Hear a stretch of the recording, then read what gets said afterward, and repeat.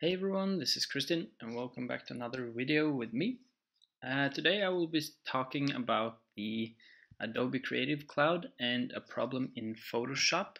Um, when I bought the Photoshop in Creative Cloud or downloaded it, um, I noticed a problem with the screen flickering black when I zoomed in and scrolled around or moved the picture. Uh, it was really annoying, so I started looking it up on the internet and I figured out that a lot of people had this problem, but not with the new MacBook Pro.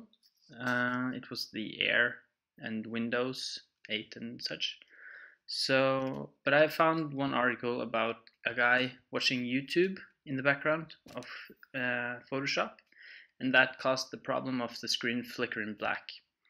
And I tried it myself, and that was the problem because I watch a lot of YouTube uh, and it's going in the background while I'm working. So I also read a problem fix that you can do in Photoshop um, on performance. Uh, you can turn off the use graphics processor, uh, but the problem is that it will turn off a bunch of tools and options in Photoshop, so I wouldn't recommend that at all.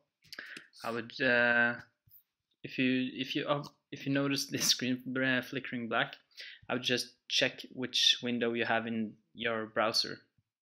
Uh, it's not only YouTube, it's other sites as well. So it's probably some code or something on that site that's making the problem uh, appear. So yeah, uh, I haven't noticed it uh, in other Photoshop versions. It's only in the Creative Cloud. So if you bought it and you figured or you noticed that it's flickering black for you as well, that might be the problem.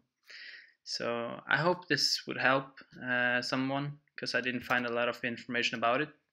So yeah, thank you for watching and goodbye.